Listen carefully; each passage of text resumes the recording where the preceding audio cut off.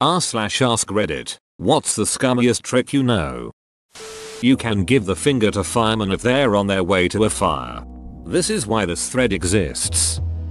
Open a bank, earn big fees and big bonuses issuing a bunch of mortgages you know can't be paid back. When things start to go bad threaten Congress with Armageddon and receive a huge bailout. Pay yourself another huge bonus. Finally leave just before the bank goes broke and stick the FDIC taxpayers with the resulting financial black hole. Sorry, that seems pretty far-fetched. I agree, there's no way that could work. I think you meant to say that there's no way it could fail. Laquisha on the corner of 53rd and Roosevelt. I bet you a dollar I can make your tits move without touching them. Grab said tits. I lose. Hand over the dollar. Walk. Note, I'm not responsible for this. Nor would I do it. A friend of mine met his wife this way. Seriously. I think I met her like that too. If you stand outside a popular bar and charge a cover, you can usually snag about $40.50 before getting chased off. Some a-hole pulled the stunt at a local bar, took 5 bucks from me. When I wised up, I called over the bouncer and told him the guy took 10 bucks. Hey, that guy's charging 10 bucks cover. He stole my 15 bucks. Seriously, if I'm paying 20 bucks to get into a club, it better be going to the club. Where's the bouncer? I'm going to get my 25 bucks back. When you are the designated driver and your passengers are really really intoxicated, stop at every gas station and ask each them for money to fill up. Don't you think that a gas station is a tad public for prostitution? Strip club bait and switch. Get a small baggie, fill one corner with any sort of white powder you may have laying around the house. Baby powder, powdered sugar, even flour will work in a pinch. Tie the corner of the baggie into a small knot, so it looks like an 8 ball of cocaine. Go out to the strip club. Every time you pull money out of your pocket in view of one of the girls, make sure she sees it, or drop it and pick it up really quick. Pretty soon you'll have a gaggle of coke horses hanging around. They'll start dropping hints, wanting to know what you're doing later, etc, etc. Invite them over. When you get home, make a big show of having lost your coke. Have a lot of booze on hand. They'll stay anyway. Shove a chunk of foam up the coin return slot of a busy vending machine.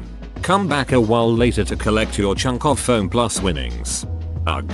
Some got me with this yesterday only with gum. I fingered the hell out of that hole for 5 minutes just trying to get a quarter. That turned me on a little. I fingered the whole of the vending machine, roughly shoving my index and middle fingers into the cold, square metal hole which was slowly warming up from my struggling. I could hear my quarters sitting just out of reach, and I fingered deeper and deeper into the machine until I found that sweet spot, the gum.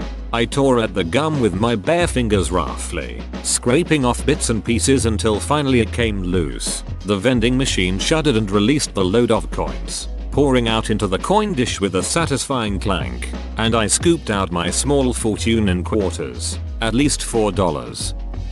Walk into a bank and ask the teller you're going to receive a lot of money in the near future and that you may like to open up a 20,000 CD or something involving a lot of money. Then teller will then, by policy, be forced to get a personal banker to deal with a high priority customer. When you're labeled high priority, they wave a ton of shit and treat you like royalty for a while. For example, my friend had over $400 of a bunch of overdraft fees he couldn't pay. I walked in the bank and asked the teller I'd like financial advice on $50,000 my grandpa is going to leave me. She directed me to her personal banker. I got to talking to her for a while about a bunch of financial mumbo jumbo, letting her think she was convincing me. I then brought up the fact that my friend's personal experiences with the bank has made me question their reputation. In spite of the fact that others recommended me here, we called up my friend, cleared his fees, and I never walked in that bank again. Plasma pistol, then melee. Fox only. Final destination. Just the tip. So this guy is getting busy with a virgin and after a while of fumbling around, he tries to go in. No, she says. I'm saving myself. How about just the tip? He asks and after a much pleading, she agrees. Okay, but just the tip. Don't put in any more. He promises not to, but it feels so good and she's enjoying it. So he goes all the way in. The girl is moaning and yells, oh god, go ahead, put it all in. The guy freezes and yells back, no, a promise is a promise. When you see a bum about to ask you for money, ask him for money first. A little gypsy kid asked my friend for some cash once. My friend said he didn't have any but wanted to buy some coffee and asked the gypsy kid for some money. Gypsy kid gave him cash. I figured out how to change the print queue at my school's library and often cancel people's print jobs to shorten the line and get my stuff printed out. In other news, your IT department sucks. Tell me about it. Anyone inclined to print a config page, grab the IP, and use the handy little web UI is free to do whatever they want. My favorite trick. Not really scummy but dirty. When you are in the backseat going through drive through, wait until your buddy finishes ordering from the girl and when she says will that be all, say and a blow job. Then hide so your buddy has to face her. Going through the drive through in fast food restaurants they don't put cups of water through the register. But basically ask for one. They're free. Go to the pay window next and tell them you just asked for water. When you get to the last window where you get the food, most of the time you'll get the order for the person behind you which they've paid for. Lack of communication FTW. Oh god, you're screwing over the employees, company, and customers all in one. You're a maniac. You don't even have to do this, but it needs to be a drive through that has one window to take your payment and a second one to give you your food. You can just say at the microphone thing that you forgot your wallet say you're just going to drive through. Drive up to the first window. Say you were the guy that forgot your wallet. Go up to the second window and wait. You'll be handed the food of the car behind you. Just hope they didn't order the fish fillet. In my experience if you ask smoker for a cigarette, they will most likely give you one. I knew a guy who would carry around a second pack with just one cigarette in it, just in case anyone asked. That is one of the scummier tricks I know of. Last week while downtown DC, a bum asked me for a smoke as I was walking to get a sandwich. I told him to pick up 10 pieces of trash and meet me at a dumpster on my way back and I'd give him one. Sure enough, he picked up trash and I even gave him a extra cig. Get several flimsy paper or foam cups, superglue them to your co-worker's desk, and fill them to the brim with water. If they don't realize the cups are stuck to the table, they will just try to pick one up normally, and water will go everywhere. Then they will either try to sponge the water out of the old ones, which will make just as much mess, or just rip them all out. Another good one with cups and water. Set up like 100 cups on a roommate's floor and only fill up 3 or 4 in the middle with water. They will kick their way through first first few, then kick water everywhere. If you're on the road and don't want to pay out for a hotel I know that Walmart has a unofficial policy that they won't kick you out of their parking lot unless you've been squatting for something like 24 hours. They kicked some homeless kid out of their lot a few years ago and got slammed all over the news when he turned up dead. I work at Walmart and people treat the parking lot like an RV park just about every night. We can print printers in other offices at my company. I print Google Maps of directions to gay bars from guys' homes. Call Dell with an old PC on hand. Tell them it caught fire, smoked or even shocked you. They will buy you off. At the very least, they will send a brand new $5,000 system. My buddy got a home server, a system, a desk, and free software. Over 10k worth of stuff. Not that I'm advocating this. As an ex-employee, I am extremely loyal to Dell.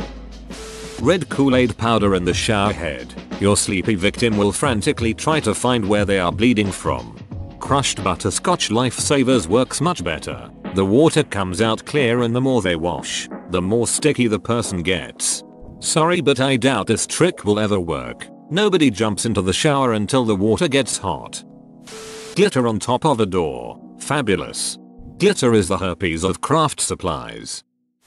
Ground up Alka-Seltzer will cause a false positive for cocaine on men. A quickie tests done by cops at the scene of a bust. Grind some up while wearing gloves. Place in a drug type plastic bag. Also while wearing gloves. Plant in someone's car and then drop a dime on them. Mean nasty, and can result in incarceration of the individual you are setting up.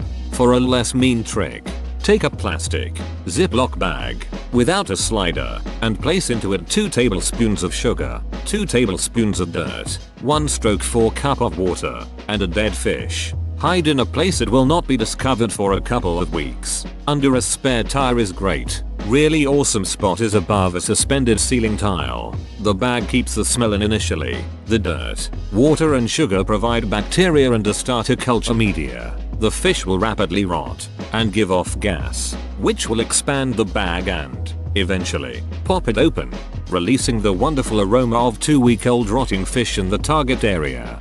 I hate you. Go to a park and wait for a woman jogging. Leap out and deal her the biggest blow to the back of the head. Take her cash and get the hell out of there. For your information, after reading many of these comments, the things people do are extremely illegal and not really a scummy trick. If you take an extension cord and make both ends male and plug them into sockets in different parts of the house, it can trip the entire panel. This would be on the theft side of dirty but we used to do this all the time in high school. Go to local big box store that has a customer service counter, egg, Canadian Tire, Walmart, Home Depot, pick up desired item and walk to the customer service counter. Ask to return this item. They will say not a problem. Can I have your receipt? Reply yes. Just let me oh you know what, I forgot it in my car. One second. And leave with the item. Also, just found out kids at my university were picking up textbooks off the shelves and taking them to the used book buyback counter in the campus bookstore. They would get 40% of the book price back instantly, without even purchasing the book.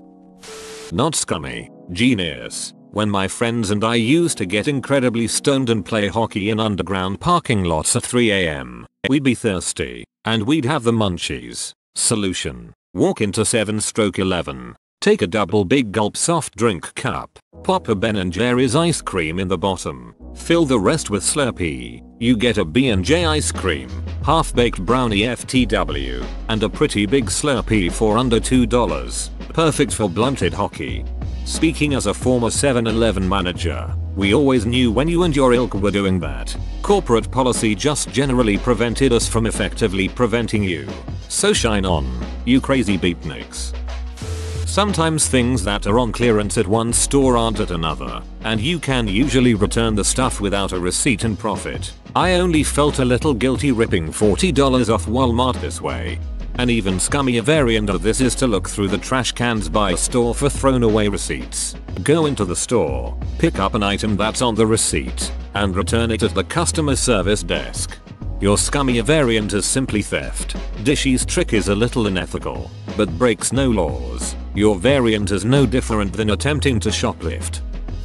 So let's say you buy an item and it breaks, but you don't have a receipt or it's not covered under warranty. Just go buy the exact same model item and return the old saying it broke or it was faulty or you just didn't like it. Now you have a receipt, so no hassle. If it's the same model and not something that's checked by serial no, Xboxes, that sort of thing, then boom.